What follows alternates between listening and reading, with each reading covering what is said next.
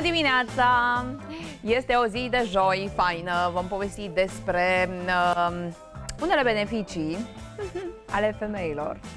Uh, sigur, femeile așa de la sine au niște beneficii, doar că problema e, din ce cred eu, nu întotdeauna știu femeile să le valorifice, știi? Dar bine, asta e o altă discuție.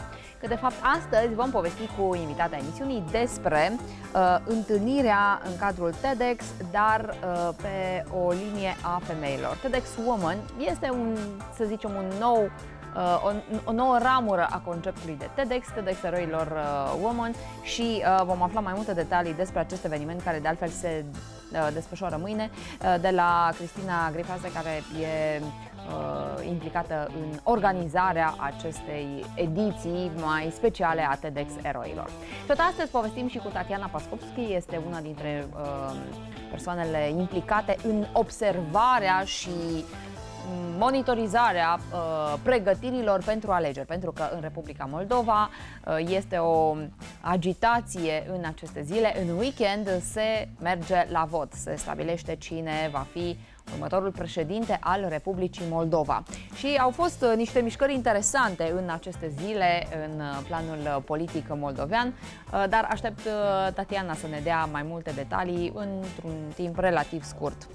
Tot astăzi uh, ne întâlnim cu niște veverițe simpatice și de altfel aș propune chiar în minutele următoare să uh, vedem despre uh, veverițele acestea câteva chestiuni care, mă rog, poate unele intră la știați că, altele uh, intră la uh, capitolul uh, informații de actualitate despre viața din județul Bistrița Năsăud. Uh, colegii uh, Cherecheșii, așa cum uh, îi numim noi, din, uh, din zona Bistrița Năsăud, uh, au realizat un reportaj uh, pe această temă.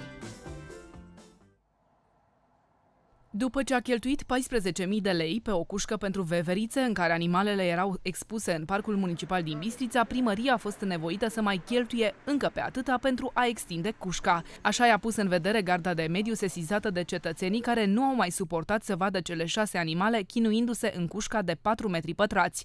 Ca să nu plătească o amendă de 50.000 de lei, primăria a mărit cușca. Într-adevăr, animalele erau ținute într-o colivie cu dimensiuni mici, și care, prin analogie cu legea uh, privind, grădinul, uh, privind regimul grădinilor zoologice, unde sunt stipulate niște dimensiuni în care uh, pot fi păstrate animalele în condiții optime în captivitate, am stabilit ca măsură redimensionarea coliviei. Cele șase veveriți au fost cumpărate cu 2700 de lei de la un pet shop care a oferit și consultanță la realizarea cuștii inițiale. Numai că și firma în cauză a fost amendată cu 5000 de lei pentru că nu avea autorizație pentru comercializarea animalelor. Între timp, patru dintre veverițe s-au făcut nevăzute. Primăria susține că au evadat. Ce nu s-a întâmplat asta de la început? Cu cine v-ați consultat?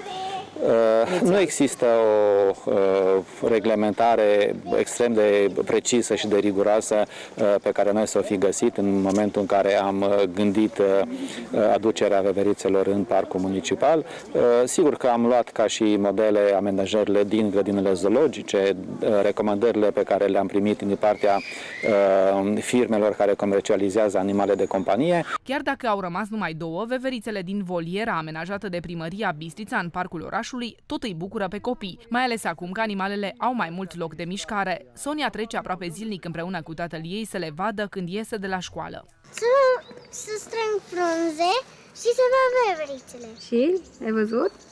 Da. Și cum sunt? Păi doar una am văzut. Doar una? Și trebuiau să fie mai multe? Încă una. Încă că erau două și celelalte s-au pierdut. Nu știu, din punct de vedere ecologic, habar n-am. Da. Da. da așa? Da, da e așa? ok, e un punct de atracție.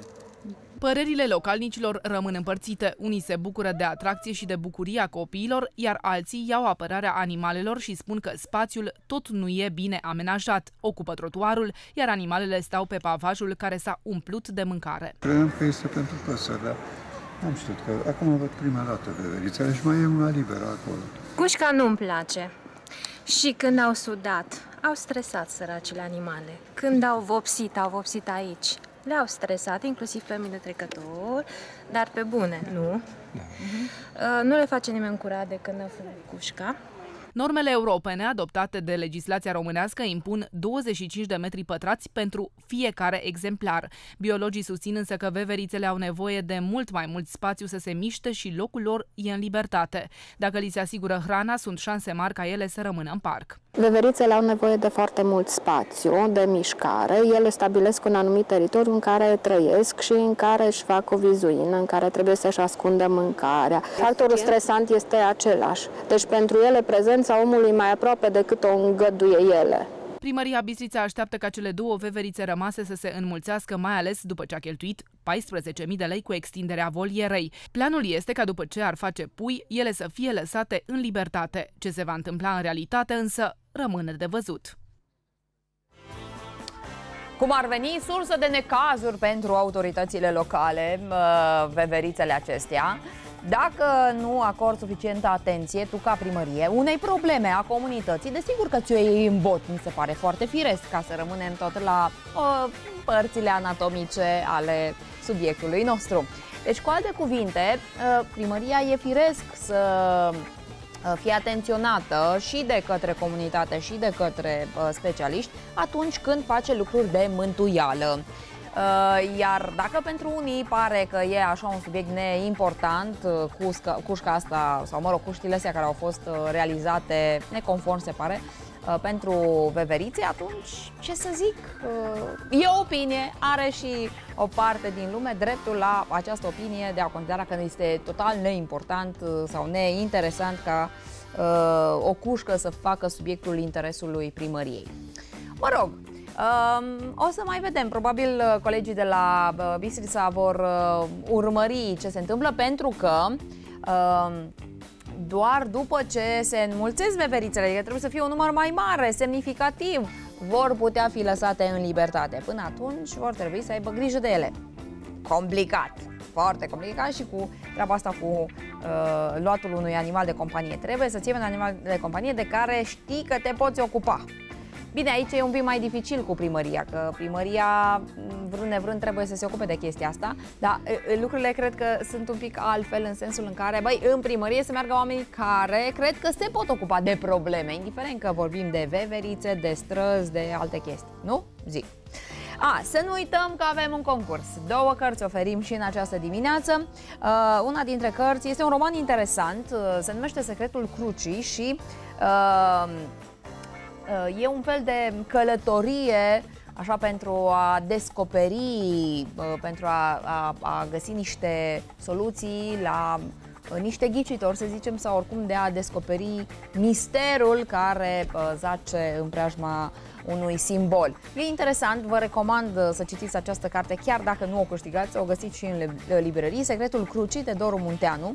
Iar a doua carte este Convorbiri cu Nicolae Steinhardt între lumi. Uh, Nicolae Băciuț este uh, persoana care uh, este autorul acestei cărți. Deci două cărți pe care le puteți primi, le primiți prin poștă, nu este niciun fel de problemă, puteți să sunați de oriunde, 0264 420135, numărul de telefon la care vă înscrieți la acest uh, concurs. Și mulțumim uh, editurii care ne pune la dispoziție și de altfel chiar ea trimite cărțile direct uh, câștigătorilor.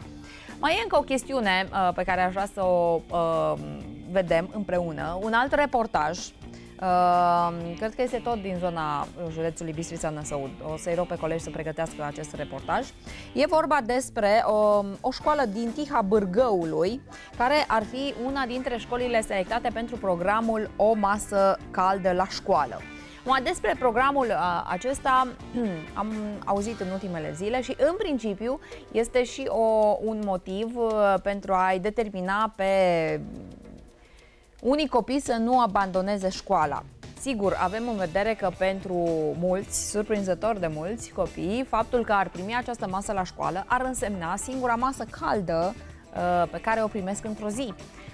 E destul de trist acest fapt, dar este o realitate.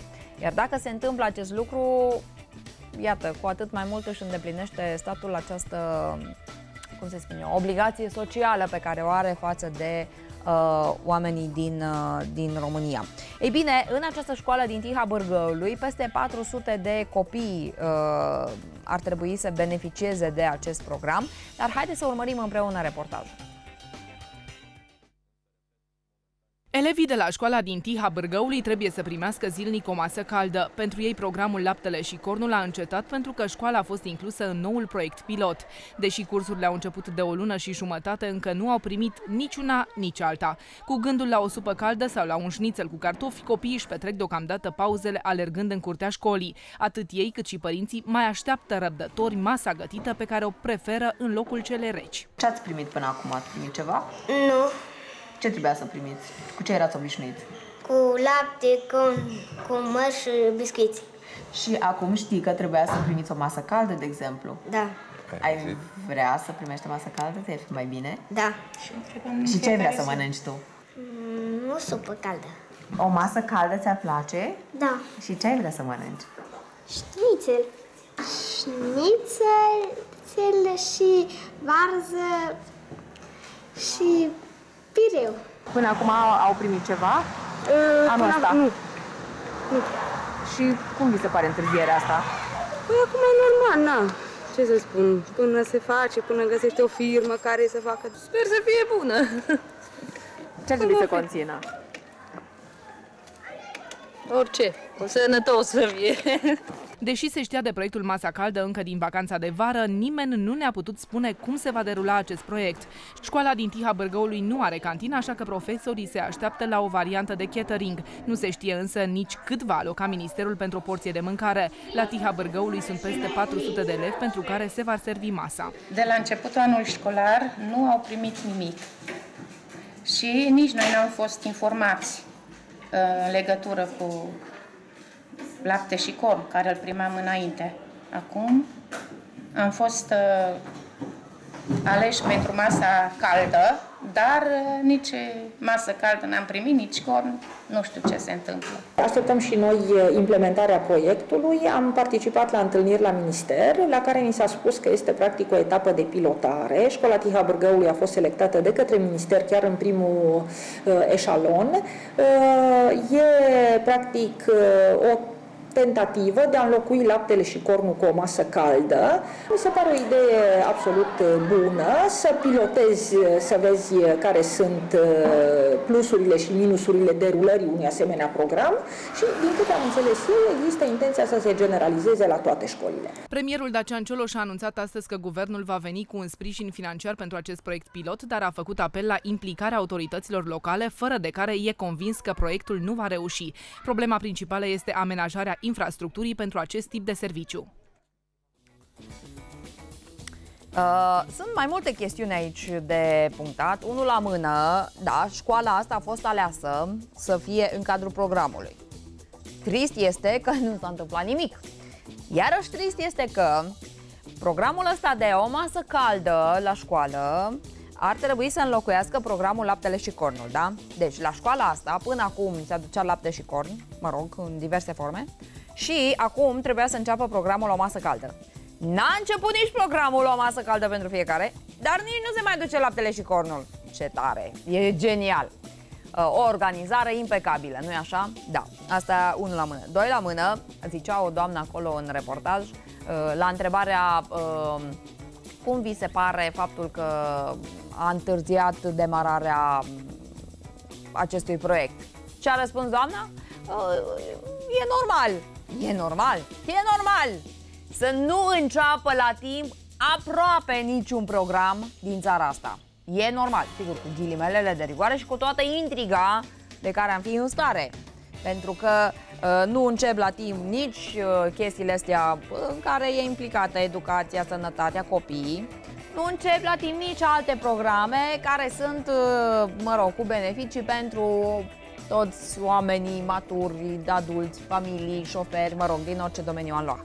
Cu străzi, cu locuințe, cu spitale, nimic nu începe la timp.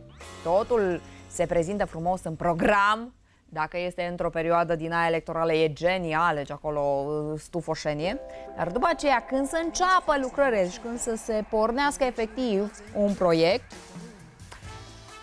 a, știi? Cam asta este reacția.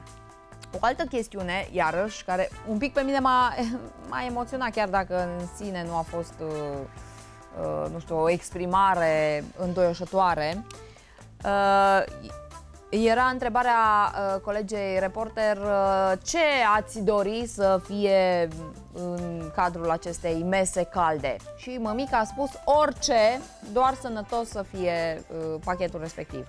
Orice. Pentru că să înțelegem un aspect, zicea și colegul Cristian, păi pe vremea mea mama îmi punea acolo sandwich și mâncam de acasă. Și eu, pe vremea mea, aveam un sandwich pe care mi-l punea mama în ghiozdan și îl mâncam în pauză. E adevărat. Problema este că această masă nu este uh, în mod special dedicată celor care au ce să primească în ghiozdan de la mama și de la tata de acasă, ci este dedicată celor care nu au. Și pentru că nu o să poți să faci tu o discriminare de genul ăsta, băi, mama ta și tata tău n-au să-ți dea de mâncare, ia de aici, și tu ai cu mama ta și tata tău care au bani în cont, mergi și cumpărăți de la chioșc. Nu poți să faci diferențierea asta, că e o cretinală. Atunci faci pentru toată lumea. Toți copiii sunt până la urmă la fel. Na, dar dedicat acest proiect, program, eu așa-l văd, celor care nu au de acasă și să nu se simtă aiurea la școală, unul la mână că te simți aiurea că ăla la alt mâncă și tu stai și bălești acolo, doi la mână, totuși statul trebuie să aibă grijă de uh, juniorii ăștia, nu? Ca să crească și până la urmă să ducă mai departe ce înseamnă uh, populația asta. No, bun, mai sunt uh, multe alte lucruri pe care vroiam să le mai povestim uh, și tot așa dintre reportajele colegilor de la știri, dar din păcate timpul trece extrem de repede. Vă reamintesc de concurs 0264420135, numărul de telefon la care sunați, aveți două cărți pe care le puteți primi, sunt foarte faine și vi le recomand. Uh, și la sfârșitul emisiunii facem exagerarea să vedem cui anume vom trimite aceste cărți. O să-l rog și pe colegul Cosmin de la grafică să pregătească mm, coperțile pe care le-am trimis uh, în urmă cu ceva timp înainte de emisiune și să le și arătăm pe parcursul emisiunii. Până atunci însă, haideți să vedem ce temperaturi ne așteaptă în Transilvania.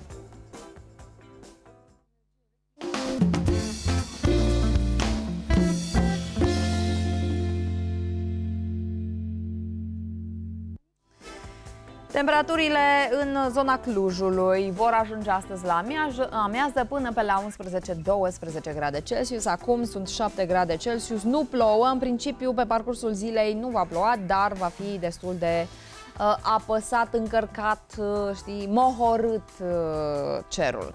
În uh, zona Hunedoarei, temperaturile cresc uh, până la 13-14 grade. Acum cerul este în oraș și sunt 9 grade Celsius. În uh, Bihor avem maxime de până la 12-13 grade. E mai frig un pic, sunt 3 grade Celsius în acest moment, dar nu vom avea parte de precipitații în zona Bihorului. La Brașov, temperaturile maxime ajung pe la 8 grade cel mult, pentru că de asta sunt maxime, în fine. Acum sunt 5 grade Celsius în Brașov, la Baia Mare sunt 5 grade și maxima va ajunge la 12. În uh, zona Bistrița Năsăud, maxima va fi de 11 grade. O zi foarte însorită va fi uh, la Bistrița Soare și 4 grade Celsius în acest moment. Cam acestea sunt uh, temperaturile și așteptările noastre pentru Transilvania. Nu avem parte de ploi, în principiu, dar uh, de îmbrăcat gros tot trebuie să ne îmbrăcăm bun. O să-i rog și pe colegi să pregătească telefonul cu uh, Tatiana Pașcovski, să vedem cum stau lucrurile, cum se pregătesc și candidații și um, oamenii obișnuiți, dar și organiz- organismele care sunt implicate în uh, urmărirea corectitudinii acestui proces uh, al alegerilor, pentru că, vă reaminteam, în acest weekend se alege președintele Republicii Moldova și uh, sunt, uh, sunt mulți uh, moldoveni care locuiesc în România. Curiozitatea mea este unde vor merge să voteze, vor avea probleme, așa cum au fost și la noi în ultimele tururi, sau cum să le zic, în ultimele etape, în ultimele sesiuni de alegeri ale președintelui, au, ba, vedem. Până una alta, intrăm uh, ușor, ușor pe terenul uh, revistei presei, să vedem titlurile.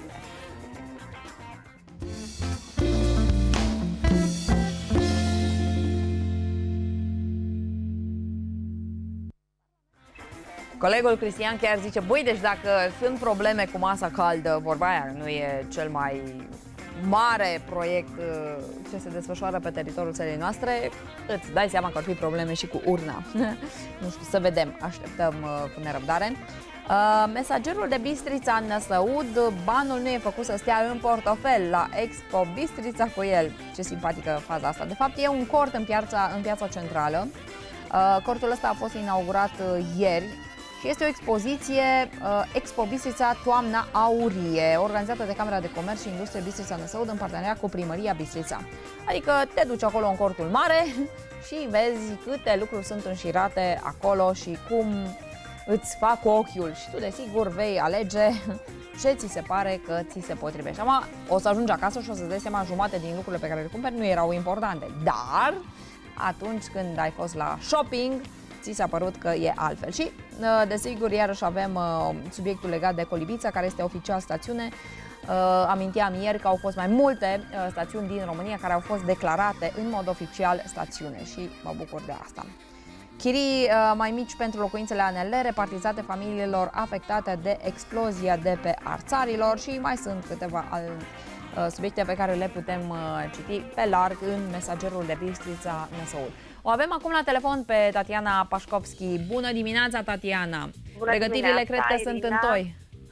Da, pregătirile sunt în toi la Chișinău. Și nu doar la Chișinău, cred.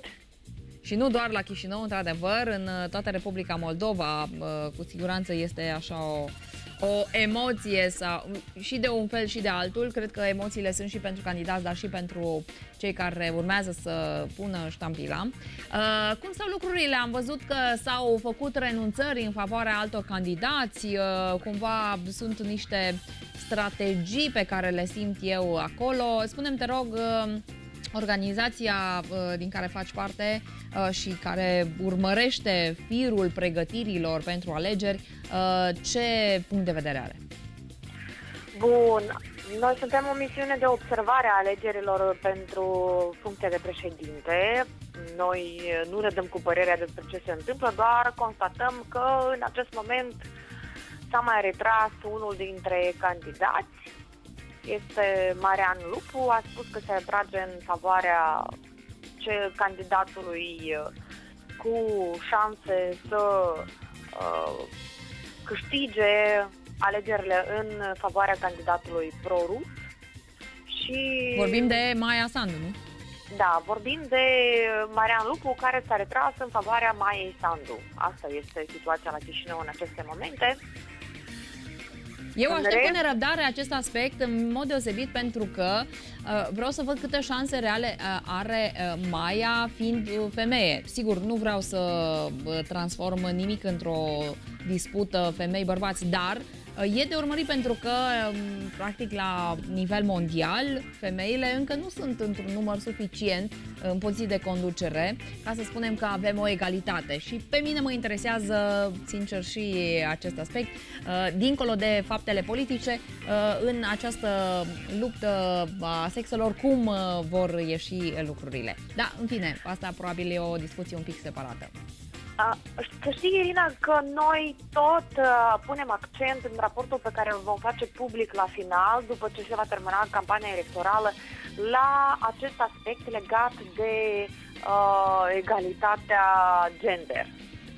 Și vom avea o poziție a um, organizației pe partea de cum s-a desfășurat campania electorală din aspectul gender cine și-a permis să fie misogin, cine nu, vom spune și noi. Ah, perfect. Super. Asta e adevărat. Ce se va întâmpla la alegeri vom vedea cu toții, veți urmări și voi, pentru că acum, uh, fiind uh, într-o eră digitală, este foarte ușor să găsești informația. Așa că fiți cu ochii uh, pe Republica Moldova pe 30 octombrie. Uh, mai mult pentru că în România sunt foarte mulți studenți și foarte mulți cetățeni ai Republicii Moldova.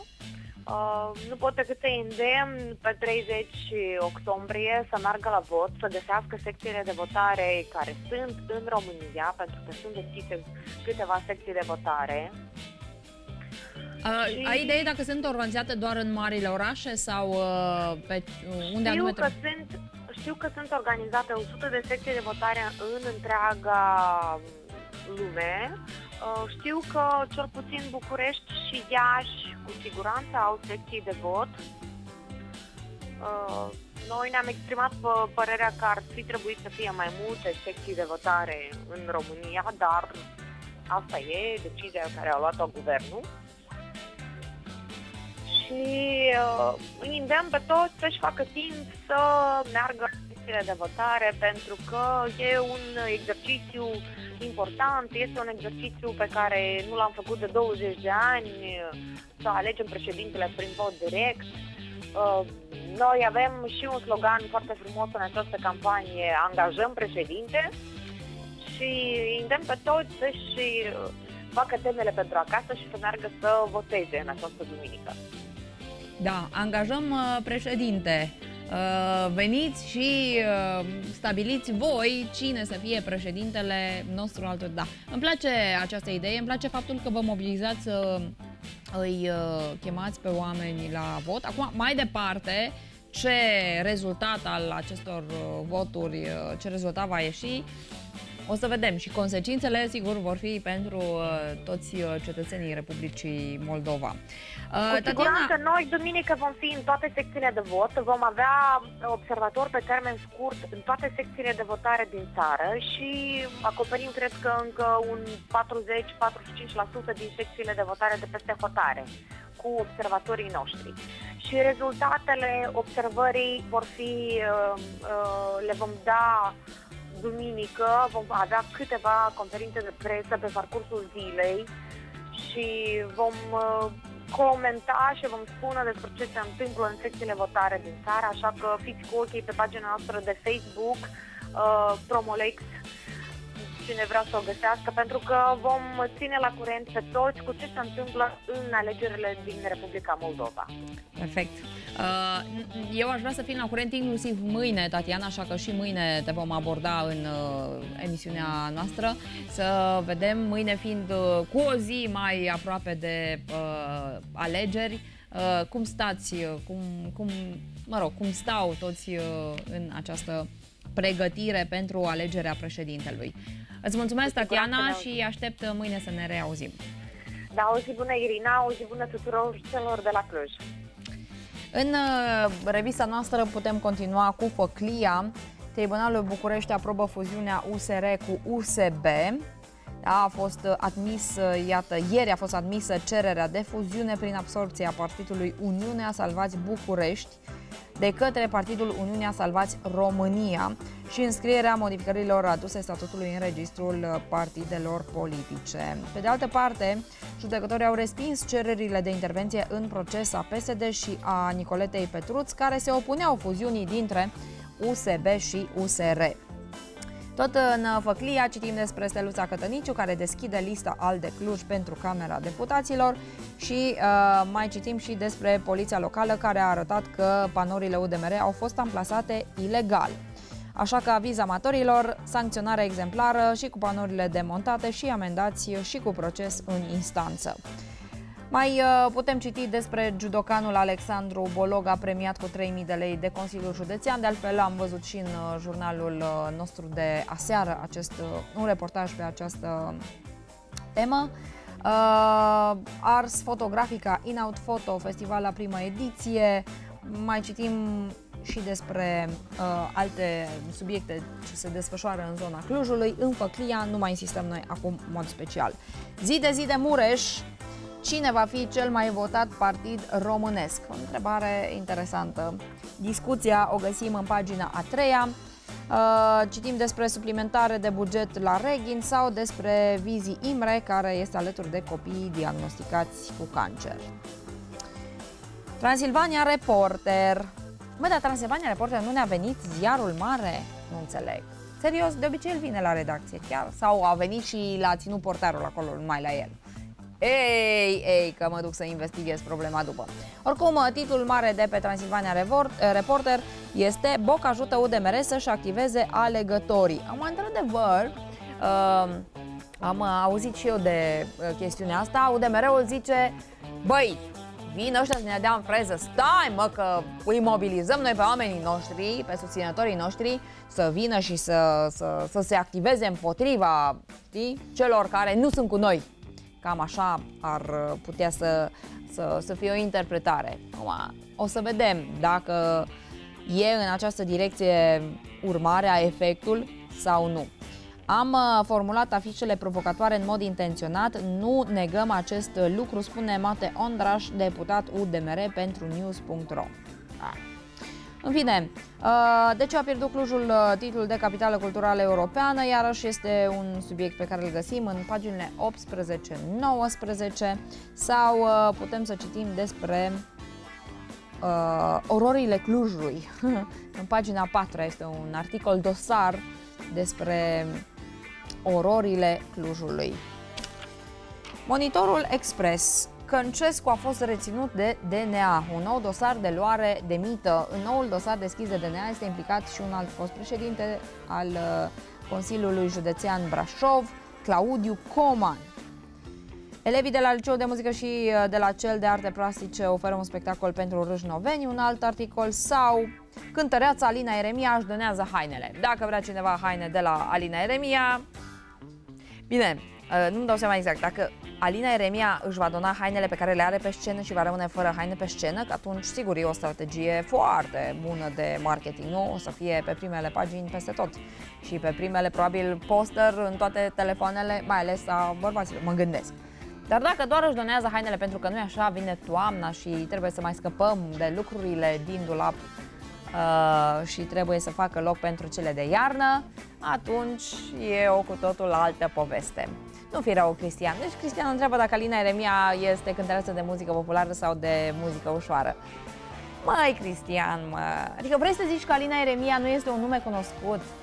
Cristian, cred că ai o vârstă. Toți tinerii cunosc, o cunosc pe Alina Eremia. Este de muzică ușoară, desigur. 8 partide și-au înscris candidații în cursa pentru Parlament. În, pagina 2, în pagina 2 și pagina 3 putem să citim despre asta. Și n-aș vrea să mai citim despre cum o mamă a patru copii a fost înjunghiată mortal de concubin pentru că mă ia cu leșin când aflu de titluri de genul acesta. Monitorul de Cluj uh, scrie despre 8 ani deja din bani publici. Drumul turistic Răchițele Iponor este gata de inaugurare. 8 ani de zile le-au trebuit autorităților județene și constructorilor să asfalteze 20 de kilometri de drum. O poveste despre lucrări date pe prietenii care pun în pericol siguranța traficului rutier și despre licitații cu cântec în paginile, do, uh, paginile cu numărul 2 și 3. Astăzi chiar are loc, dacă nu mă înșel, uh, conferința de presă cu privire la această inaugurare. Sunt curioasă să vedem ce informații vor oferi cei de la Consiliul Județean, respectiv ce întrebări vor adresa uh, jurnaliștii în cadrul uh, acestei conferințe și, într-adevăr, deci, drumul ăsta trebuia să fie gata de 1240 de ani, ceva de genul. De vreo, de foarte mult timp. Nu știu dacă nu cumva de prin 2010, ceva de genul acesta. Cum? De acum 3 ani trebuia să fie gata acum trei ani după toate prelungirile care au fost până atunci, da. Uh, dar altfel, uh, drumul ăsta, într-adevăr și pentru mine e un mister, frate, adică 20 de kilometri, mă, dar nu e ca și cum ai construi acum toată rețeaua de autostrăzi din România. 20 de kilometri de drum. O fi la prăchițele Iponor, adică nu e pe planul foarte drept. Dar nici n-ai construit-o, frate, pe vârful moldoveanu. Ca să zici că mergi cu schelele stației spațiale și uite cât durează până se montează. Adică vorbim de un drum montan normal. Și ți-au trebuit 11.000 de ani și vorbim doar de 20 de kilometri, mă, 20 de kilometri. Uluitor, uluitor. Și acum, mai am și văzut comunicatele care au tot venit de la Consiliul Județean. Drept este că eu, a, un fel de obligație o văd eu, de informare a publicului. Băi, dar mie mi se părea cumva că sună a victorie. Yes! Am asfaltat un drum! Am asfaltat... Cam asta era tonul pe care eu l-am simțit cumva, mă rog, în traducerea proprie, desigur, pentru chestia asta. Să fim serioși! Nu! Deci nu, nu la mână, că ați întârziat foarte mult! Că la mână a costat foarte mult! S-au depășit toate termenele! În fine, așteptăm cu nerăbdare și ediția de mâine a ziarelor să vedem pe subiectul ăsta cum se, uh, ce, ce articole găsim. Scandal la o școală din Cluj, elevă bătută de o colegă în fața unui liceu.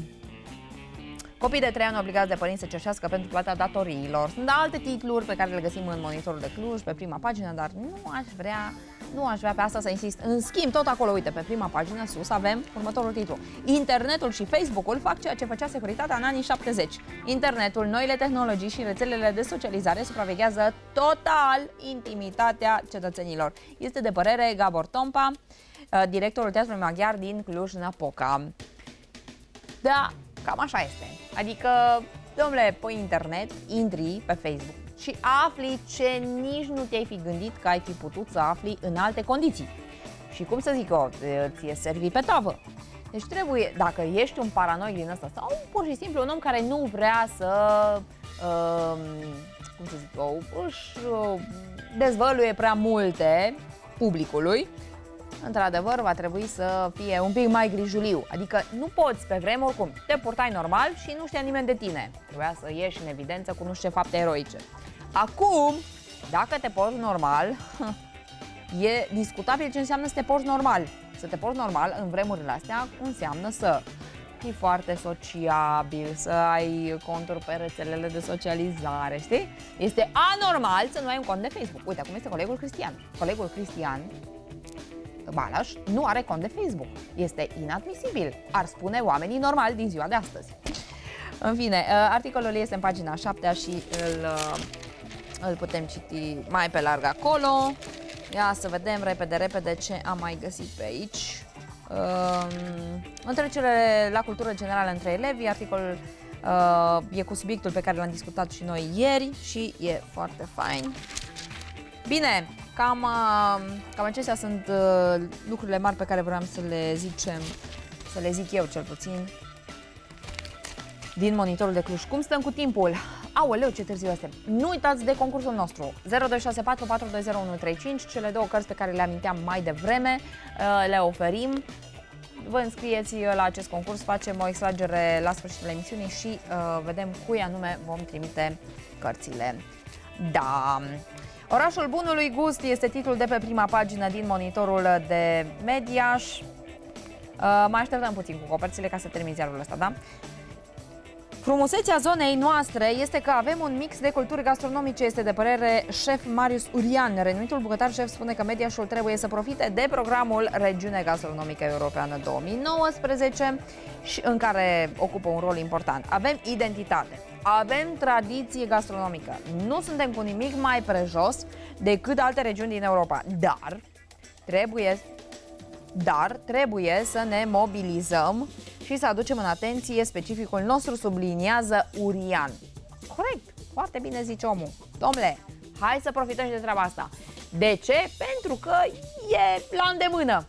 Când noi cu gastronomia putem să-i dăm gata pe foarte mulți, cel puțin când vin străini în România, frate, sigur, le ofer tu tot felul de bunătăți, nu știu ce, dar când îi duci la un restaurant cu specific românesc, îți pe spate. Sunt impresionați total.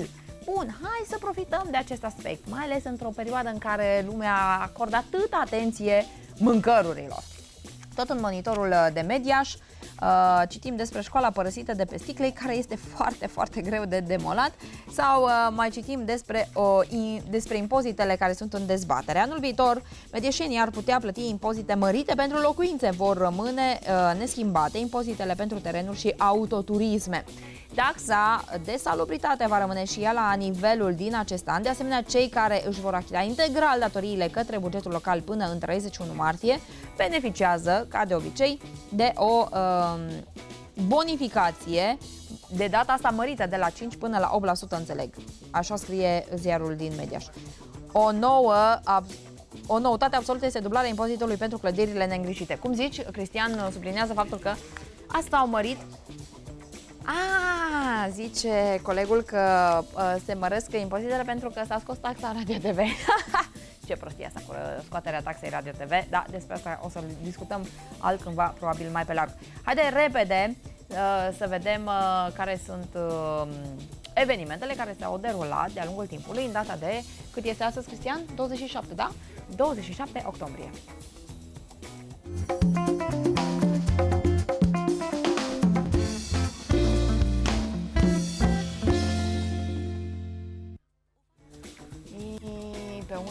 mi-am notat eu? Uite aici. În anul 1492, de mult, de mult, de mult, în 27 octombrie, Cristofor Columb a descoperit Cuba. În 1687 a fost semnat tratatul de la Blaj, prin care Imperiul Habsburgic uh, obliga 12 orașe transilvanene să primească la iernat trupele imperiale. Începutul penetrației austriece în Transilvania a avut loc atunci. Uh, urmează numeroase conflicte militare între armata habsburgică și locuitorii celor 12 cetăți. În anul 1858 s-a născut Theodore Roosevelt, al 26-lea președinte al Statelor Unite ale Americii și de altfel un laureat al uh, Premiului Nobel pentru Pace pe anul 1906. În anul 1901, după asasinarea președintelui McKinley, Roosevelt a devenit uh, cel mai tânăr ocupant al Casei Albe. Uh, a fost reales în funcție patru ani mai târziu. În 1466 s-a născut cărturarul umanist uh, Desiderius Erasmus din Rotterdam, cunoscut pentru elogiul nebuniei. Uh, în 1682, mitropolitul Dosoftei a început tipărirea la Iași a vieții și uh, petrecerii sfinților în patru volume după izvoare bizantine și slave. Știm cât de greu se făceau scrierile acestea complexe în urmă cu sute de ani, deci cu atât mai mult este de apreciat. În 1904 a fost deschisă prima linie de metrou din New York. Primarul metropolei americane, George McLennan, a fost cel care a inaugurat linia de metrou. El uh, s-a aflat în prima garnitură de tren care a plecat din stația City Hall. În 1946 a intrat în emisie primul program de televiziune sponsorizat, Geographically Speaking. Și uh, mai spunem că în 1728 s-a născut James Cook, cunoscutul explorator, navigator și cartograf englez. Uh, Cook a navigat mii de kilometri, a cartografiat uh, teritorii inclusiv din Noua Zeelandă, mă rog, din Noua Zeelandă până în Hawaii, foarte, foarte mult, a adus o contribuție și a adus o contribuție foarte mare pentru ceea ce putem noi astăzi să numim parte din cultura generală. În timpul călătorilor sale de descoperire a explorat și a numit uh, diverse teritorii, a cartografiat și insule uh, și zone de coastă pentru prima dată pe hărțile europene și tot Cook a fost uh, cel care, din păcate, și-a pierdut viața în Hawaii în timpul unei altercații cu băștinașii în timpul celei de-a treia călătorii de explorare în Pacific, în 1779. În 1782 s-a născut Niccolo Paganini, violoncelist și compozitor italian, a cărui uh, virtuozitate este celebră. În 1811 s-a născut uh, inventatorul american Singer, de altfel creator al mașinilor de cusut cu același nume și foarte renumite. Și în 1938 la Târgu Jiu a fost inaugurat ansamblul monumental conceput de Constantin Brăcuș în cinstea o, ostașilor români căzuți în bătălia de la Jiu, a cuprins uh, operele artei moderne, Masa tăcerii, Poarta sărutului, Coloana fără sfârșit. Toate acestea se găsesc, desigur, în Târgu Jiu, cum prea bine știți și vă recomand, dacă nu ați fost până acum acolo, să mergeți, trebuie măcar o dată în viață să ajungeți la Masa tăcerii. În clipele următoare aș vrea să vorbim despre TEDx Eroilor Women, acest uh, nou um, concept, să-i spunem așa, din cadrul uh, TED.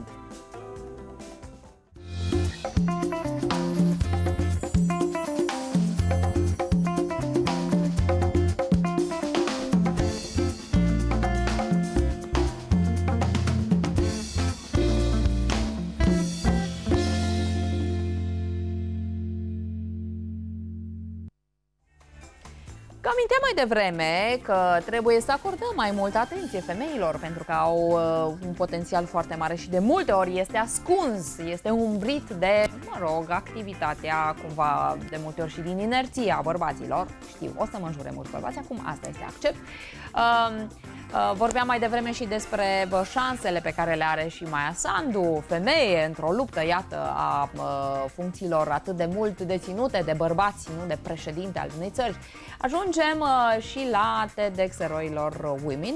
Este un eveniment, o serie de conferințe, dar iată, această ediție de mâine va acorda o deosebită atenție femeilor. Bună dimineața, Cristina!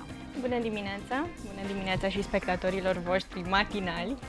Uh, mâine e, un, uh, e o ediție interesantă a TEDx Eroilor. Dacă până acum la uh, acest, uh, ser, această serie de evenimente TED erau invitate diverse personalități, sigur, indiferent că erau femei sau bărbați, din domenii uh, extrem de diverse, dar personalități care au demonstrat uh, foarte mult uh, că se poate dacă vrei. Acum voi ați făcut o selecție.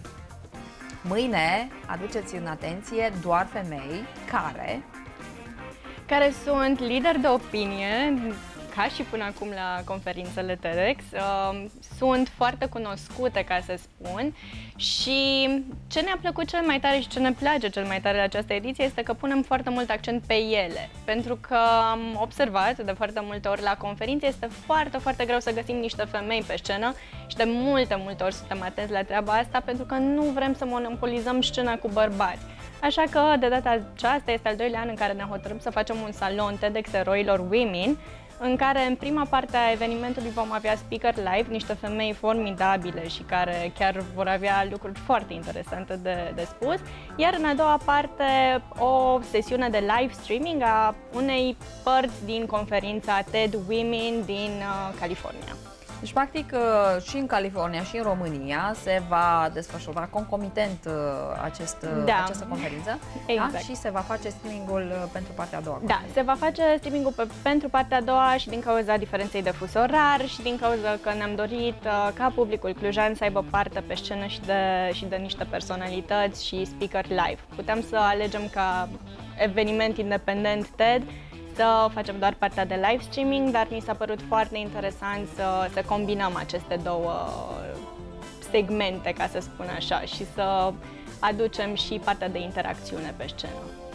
Cine anume va urca pe scenă? Care sunt uh, femeile pe care le-ați ales pentru a fi mai departe modele? Pentru că toți uh, cei care au urcat pe scena TED până acum s-a dovedit că sunt de fapt persoane model. Da, procesul de selecție a fost destul de dificil. Um, ne-am gândit din nou să aducem femei din industrii diferite și industrii dominate de bărbați. Uh, speakerii noștri vor fi Dana Rogoz, care știm că este om de televiziune, actriță, blogăriță, um, are și afacerea proprie, mai este și mama, așa că împarte toate rolurile astea și le echilibrează perfect. Uh, mai, avem, uh, mai avem pe doamna Claudia Corega, că este un ortodont foarte cunoscut la, la nivel de țară și este, ca să spun așa, unul dintre cei mai respectați medici pe genul acesta de, de proceduri. Ea este și ambasador UNICEF, așa că suntem foarte curioși să vedem uh, cum arată o zi din viața ei, pentru că asta este cel mai important.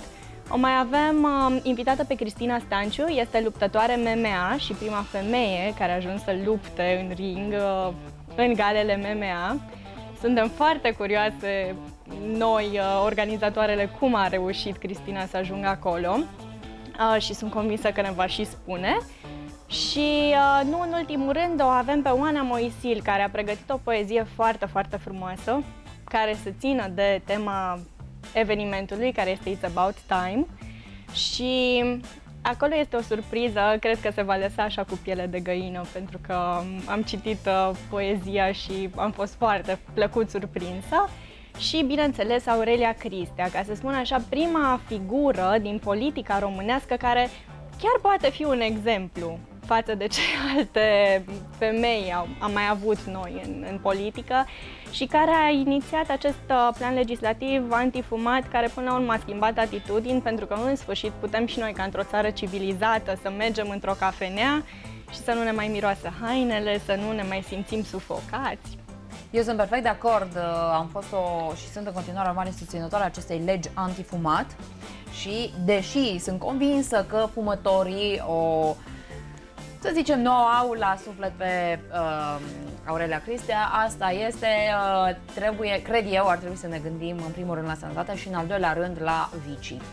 Uh, cred că este o alegere foarte bună, cea pe care ați făcut-o.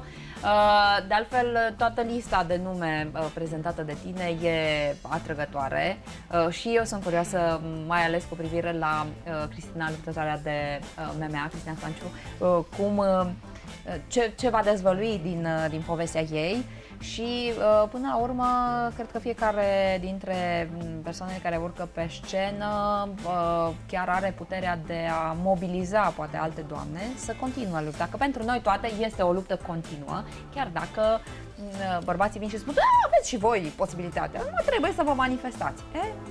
Nu e chiar așa. Da, nu e chiar așa. Asta ne dorim um, ca aceste doamne care vor urca pe scenă mâine să să schimbe puțin atitudini, să, să arate că o femeie, da, poate să întrupeze toate rolurile din lume, de la mamă la om de afaceri, la medic uh, foarte cunoscut și atunci, bineînțeles, să ca femeile din public și nu numai femei, pentru că ne așteptăm să avem și bărbați în public, ca la orice conferință TEDx eroilor, să simtă, wow, dacă bărbații vor zice, uite, poate femeia de lângă mine este la fel ca cele de pe scenă sau dacă femeile din sală vor zice dacă ea poate, sigur trebuie să pot și eu, este deja un, un pas înainte. Vom reuși să schimbăm atitudini, vom reuși să vedem, uite, Cristina Stanciu, uite mai femeia asta se luptă în, într-o industrie dominată de bărbați, uite că a avut niște rezultate extraordinare.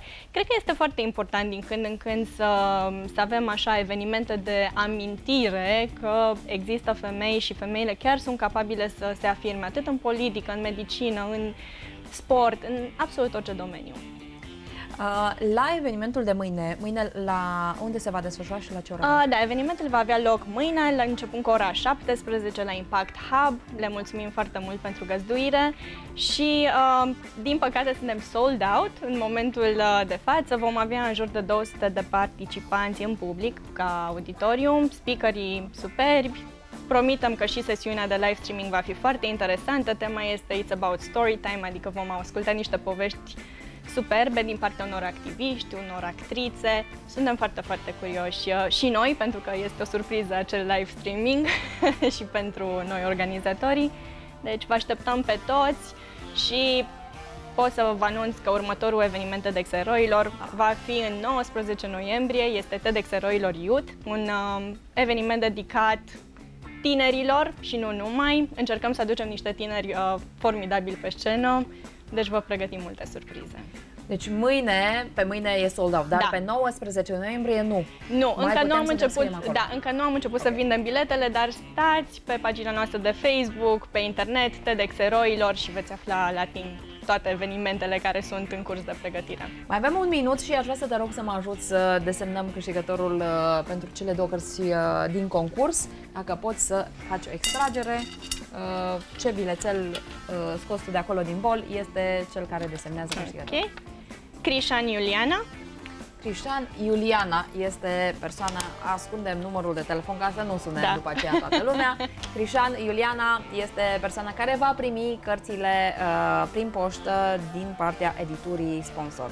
Mulțumim foarte mult și Iulianei și uh, celor de la editură și pe mâine pregătim un nou concurs, așa că fiți pe fază.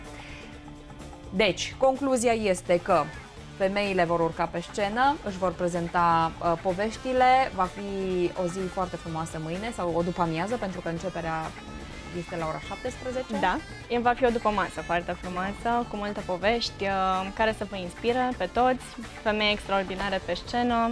TEDx Eroilor Women, iar următoarea ediție a acestui uh, gen de TEDx Eroilor, să spunem așa, va fi în 19 noiembrie. Da. De urmărit neapărat pagina de Facebook, uh, TEDx Eroilor, cu tot felul de alte detalii pe care le aduc organizatorii. Îți mulțumesc foarte mult!